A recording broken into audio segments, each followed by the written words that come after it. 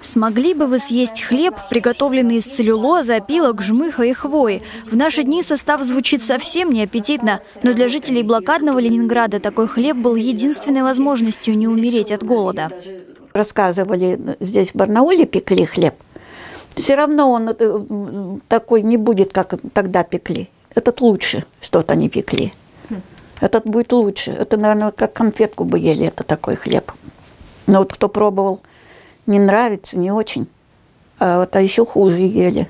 Кусочек картонного хлеба стал символом голодной блокады. 76 лет назад Ленинград освободили от фашистского плена. В Барнауле в день годовщины провели акцию помощи ветеранам «Блокадный хлеб», в рамках которой раздали горожанам памятные буханки, правда не с опилками, а обычные, бородинские. Кусочек хлеба 125 грамм. Многие уже сейчас э, на выходе сказали, что раньше он был более маленьких размеров, да, но он и был более тяжелый по весу. Ну, то есть он был по весу 125 грамм, но он был более плотный, в отличие от нынешнего хлеба, поэтому нынешний кусочек он чуть больше.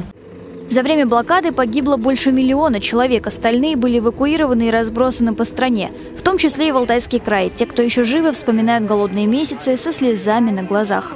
Раздетые и голодные были. Ходили, э, это самое, колоски собирали, ходили, картошку гнилую копали. Э, потом подросли немножко, стали в этом э, в лес ходить, где малина, где орехи у нас были фундуковые. В 1942 году мы из, из блокады. Блокада в декабре месяце у нас вывели. Меня солдат на санках. Да.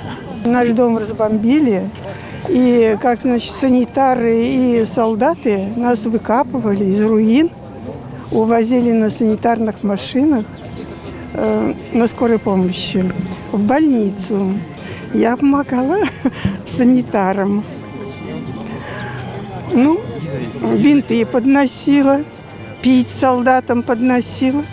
И вот благодаря тому, что я там была в госпитале военном, я выжила. В Алтайском крае живут 199 блокадников. Часть из них пришли на торжественное возложение цветов на Барнаульскую Ленинградскую аллею. Всего в стране осталось не больше 100 тысяч ветеранов блокады. Государство помогает им льготами материальной поддержкой. Волонтеры находят и объединяют ленинградцев со всех уголков России. Что касается самих блокадников, они считают, что главное, чтобы спустя годы их рассказы и воспоминания не были забыты, а еще, чтобы такой ужас войны больше никогда не повторился. Полина Жданова, Андрей Печоркин. День с толком.